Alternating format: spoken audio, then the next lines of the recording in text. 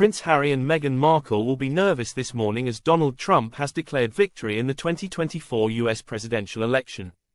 The BBC is currently projecting that Donald Trump has secured 266 electoral college votes in the race against Democratic rival Kamala Harris, just four shy of the 270 required to win the keys to the Oval Office.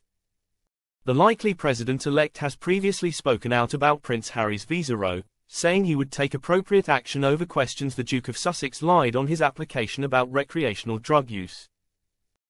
This comes after the Heritage Foundation questioned the Duke of Sussex's visa in court after Harry admitted in his memoir Spare that he had in the past taken drugs, including cocaine, marijuana, and psychedelic mushrooms.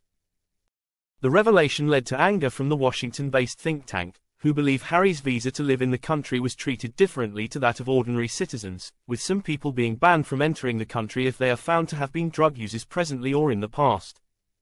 Now Trump has been elected, concerns have been raised over whether Harry will be able to continue living in the country. Former President Donald Trump, who is bidding for a return to the White House in the November 5 U.S. election, previously hinted he could deport Harry if he is re-elected, warning the Duke of Sussex he will not protect him like Joe Biden. He told Daily Express US, I wouldn't protect him.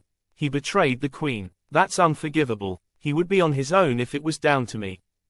Royal expert Phil Dampier told The Sun, this has been going on for about two years now. The Heritage Foundation, which is a think tank in Washington, has really got their teeth into this. I think they feel that Prince Harry has been treated differently from other people who've applied for visas to stay in the States.